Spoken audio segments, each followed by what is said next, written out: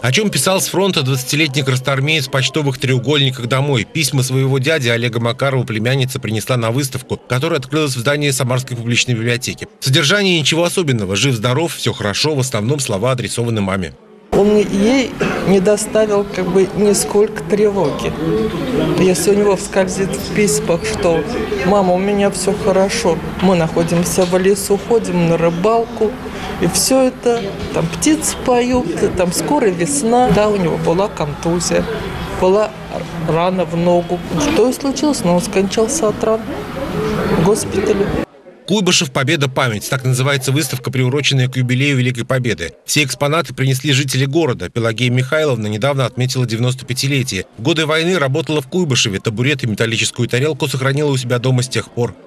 Раньше был Куйбышев. Привезли нас сюда в 1944 году, 11 июня 1944 года. Привезли нас в водоремонтный завод сюда. И по профессии я столер. И вот эти табуреточки, топчаны, тумбочки, разные-разные, все делали на суда.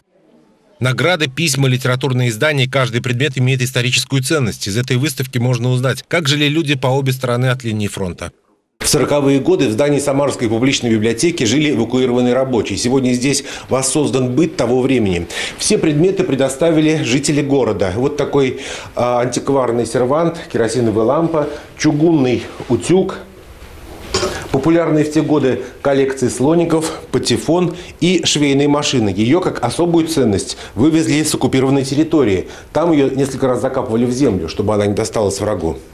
То, что в прежние годы было просто утюгом или сковородкой, теперь свидетельство истории. Все, что принесли самарцы, органично вписывается в коллекцию библиотеки. Самое главное, все сделано с любовью, как эта карта. Таких было напечатано много, но отслеживать с карандашом в руках фронтовые сводки – это тоже вклад в дело Великой Победы. Сама карта – это начало 20 века, 1910 год, но на ней карандашом отмечены события Великой Отечественной войны. Вот если мы посмотрим, а, здесь а, хорошо видно наступление наших войск. Видимо, какой-то житель нашего города, мы, конечно, не знаем, то есть а, кому она принадлежала, вот так отмечал боевые действия во время Великой Отечественной войны. Организаторы предполагают, что выставка будет расширяться. Для этого приглашают к участию жителей и гостей Самары, у которых остались предметы времен Великой Отечественной войны. Сохранность и возврат гарантируется. Олег Зверев, Николай Епифанов. События.